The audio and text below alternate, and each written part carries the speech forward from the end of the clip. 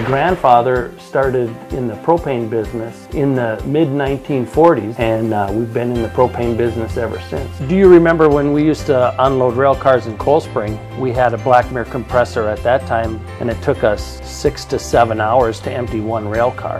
And then loading semis took an hour and 20 minutes to an hour and 30 minutes. And now at our new facility with four inch Blackmer pumps and three Blackmer compressors, we're able to unload three cars in five hours and load a semi in under 20 minutes. Here at our new facility in Rockville, we are uh, looking forward to being able to say that we have to be open 24 hours a day.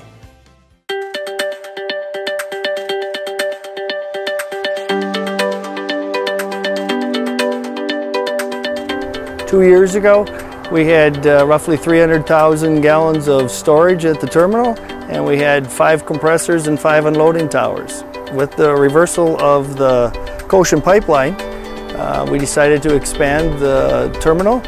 Uh, we originally could hold 17 to 23 cars on the track. We expanded the track to 55 full cars, 45 empties, so we have roughly 100 car space on it. We've increased 620,000 gallons of storage and we have 10 rail towers with 10 compressors rather than five and we have the capability of unloading 15 cars every six to eight hours where before we originally started with three compressors and three towers and we're doing three cars in that same amount of time and now we can do 15. The reason we went with Blackmer uh, compressors and pumps is not just reliability in the sense that some people would think, you know, we're in Minnesota, the temperature change is drastic. A lot of product doesn't perform at minus 20, and if you're going to have breakdowns, that's when you're going to find it. We needed to have extreme reliability on all our products.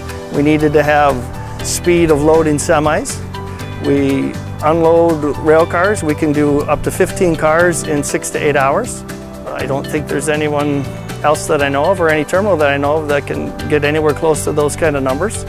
Um, the downtime is absolutely minimal and we're just happy overall.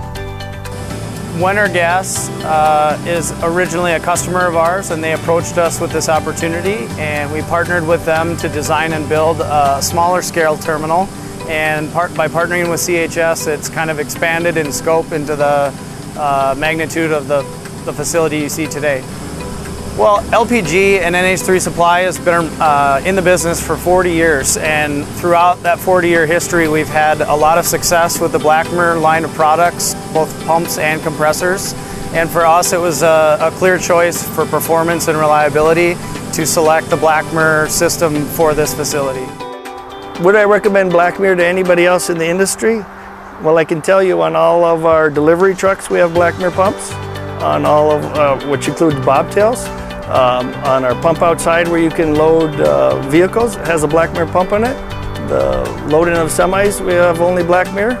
Uh, all the compressors we're running are all Blackmer. And when I specced out uh, compressors, I determined that Blackmer was the best fit for what we were doing. And uh, I'd recommend them to anyone. I would have to say, I wouldn't go and say it's Ford tough, but it's uh, Blackmer Blue tough.